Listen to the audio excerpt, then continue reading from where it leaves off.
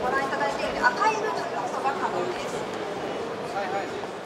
営業本部の遠藤です。どうぞよろしくお願いします。今日私どものコーナーをご説明させていただきます。私どもまずあの今回 4K ですね。こちらの方を大々的にやらせていただいてますが、えー、2つあります。1つが、えー、4K のプレイヤーですね。あのカメラで撮影して 4K のモニターありますが今までプレイヤーが、えー、なかったんですが、え、60p で再生できるプレイヤーをご用意させていただいてます。それともう一つですね 4K の今度は IP 伝送の方をやらせていただいてます。IP 伝送こちら 4K のカメラがありましてこのカメラの映像 HDMI を4本こちらのエンコーダーに取り込みます。でここからエンコードしましたものを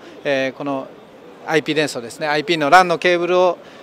通しましてこちらデコーダーの方に来ます。でこのデコーダーの方で、えー、来たストリームをデコードして、え 4K として再生をしているという形になります。今回あの、えー、東芝さんの 4K モニター、えー、シャープさんの 4K のモニターでこちら展示させていただいてますので、えー、この映像は今あのカメラから来たものが、えー、伝送された映像をご覧になっていただいてます。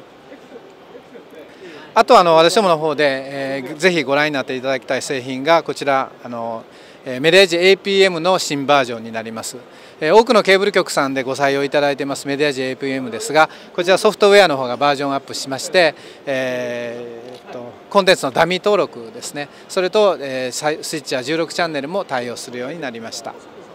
こちら今回ですねあの初めて出展させていただいてますが私どもの方でご用意しましたコンバーター製品になります。でこちらの方ですねえー、アップコンダウンコンフレームレート変換もできる高機能で HDMI から SDI、SDI から HDMI ありますがなんと価格がですねこんなに低価格になっています。これあの私どものエンジニアがですねしっかりとあの調整をしましたので非常にいい、え、製品になって低価格になっております、まあ、このコンバーター製品それとこの、えー、マルチプレクサーですね4入力から、えー、1つに合成して出す、この製品を、え、初めて出展いたしました。え、こちらが11月の末発売そしてこちらが12月の初旬発売になっております。よろしくお願いします。